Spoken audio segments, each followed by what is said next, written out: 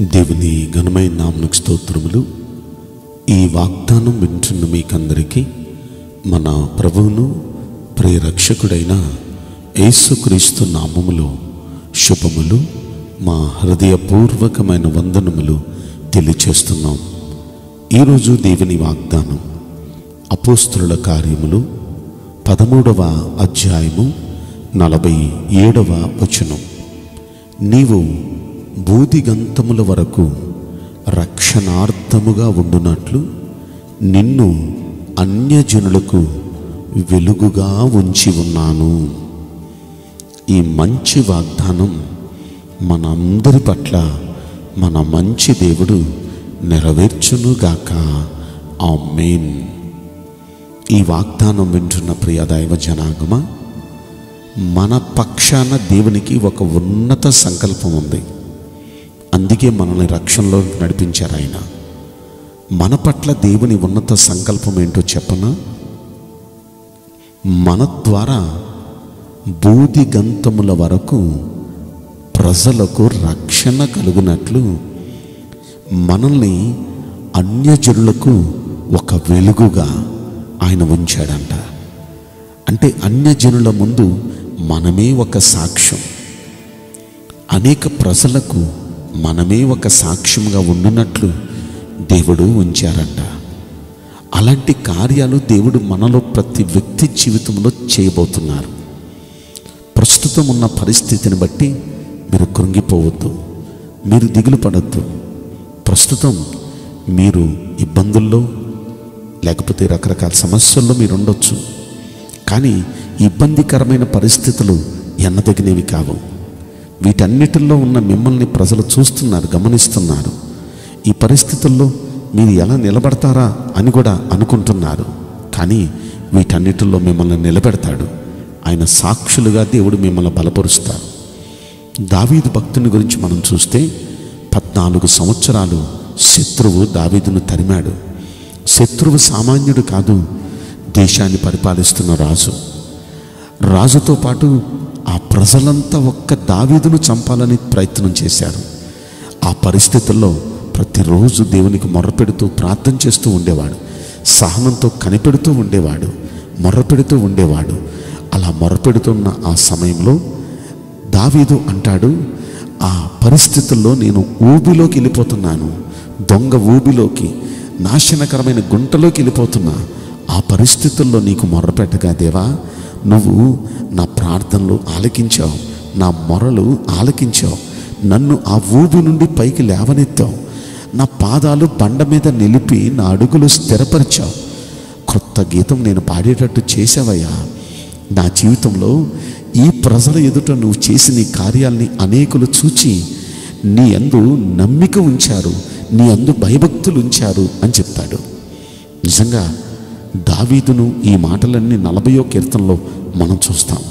దావీదు బాధలు దావీదు కష్టాలు ప్రాణాపాయ పరిస్థితులు కళ్ళ ముందు చూచిన ప్రజలు అదే క ప్రజల కళ్ళ ముందు ఆ దేశానికే రాజునుగా చేశాడు. చక్రవర్తిగా దేవుడు హెచ్చించాడు. ఈ రోజున ఏ ప్రజల ముందైతే మీరు అవమానపరచబడుతున్నారో. ఏ ప్రజల ముందైతే చులకన చేయబడుతున్నారు.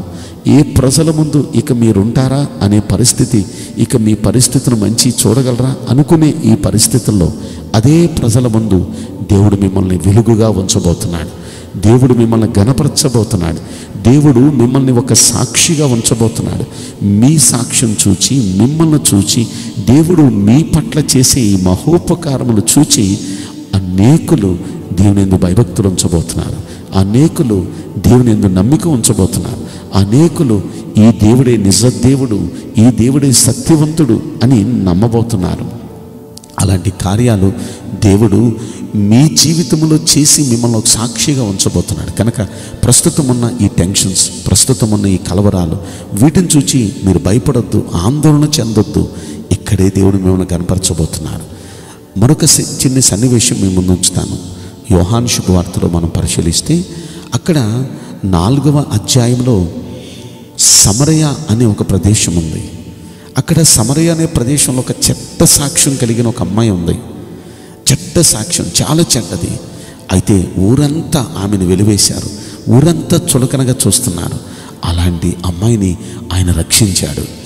ఎప్పుడైతే ఆ అమ్మాయిని రక్షించాడో ఆ అమ్మాయి ఆ ఊర్లో ప్రజల దగ్గరికి వెళ్ళి నాలాంటి వ్యక్తిని రక్షించి నన్ను ఎంత బ్లెస్ చేశాడు. ఆయన మెస్సేయ కాడ? రండి మీరు కూడా వినండి చూడండి అని చెప్పేటప్పటికీ ఆ ఊరు ప్రజలంతా వచ్చి ఆయన దగ్గర ఆ వార్త విని ఆశ్చర్యచక్తులైతూ ఏసైతో ఒక మాట అన్నారు. నాలుగవ అధ్యాయం యోహాను సువార్త ముప్పై తొమ్మిదో వచ్చంలో నేను చేసినవన్నీ నాతో చెప్పిన ఆ- దేవుడు ఈయన అయ్యే కాడా?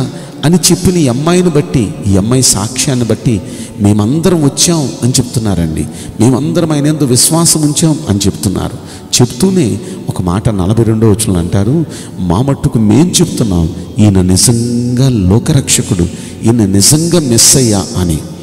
ఈ మాటను మనం పరిశీలిస్తే మన సాక్ష్యాన్ని చూచి మన జీవితంలో మార్పును చూచి అనేక మంది ఈ దేవుడే గొప్ప దేవుడు ఈ దేవుడే రక్షకుడు ఈ దేవుడే మిస్ అయ్యా అని మన ఊరు ప్రజలు సాక్ష్యం చెప్పబోతున్నారు. కనుక మనల్ని అన్యజనులకు ఒక వెలుగుగా మనల్ని అన్యజనుల మధ్య ఒక సాక్షార్థంగా ఆయన బ్లెస్ చేయబోతున్నాడు.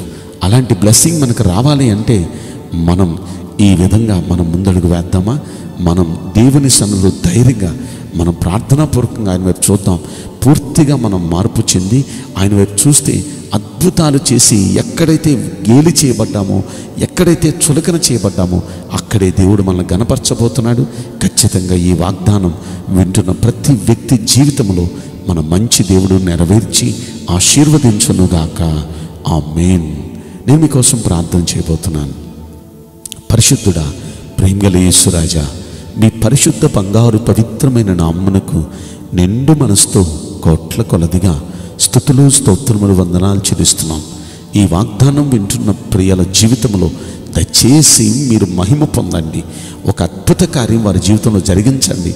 ఏ జనాల మధ్య అయితే వీరు చులకన చేయబడ్డారో ఏ జనాల ముందైతే ఇక వీరు లేరు వీరు పని అయిపోయింది అనుకున్నారో వారి మధ్య మీ ప్రజలను గనపరచబోతున్నారు హెచ్చించబోతున్నారు ఆశీర్వదించబోతున్నారు. వీరి సాక్ష్యం విని వీరి జీవితంలో మీరు చేసిన కార్యాలు చూచి అనేక మందిని అందు విశ్వాసం ఉంచి మీ అందు భయభక్తులుంచి రక్షించబడినట్లుగా మీ బిడ్డలు మీ సాక్షార్థంగా బలపరచమని ఈ వాగ్దానం ప్రతి జీవితంలో నెరవేర్చమని ఈ కొద్ది మనవులు నజరుడైన యేసు క్రీస్తు ప్రశస్తమైన నామలు మిక్కిలి వినయముతో ప్రార్థించి బ్రతిమలాడి వేడుకుంటున్నాం. ప్రియ పరలోక తండ్రి amen may God bless you all thank you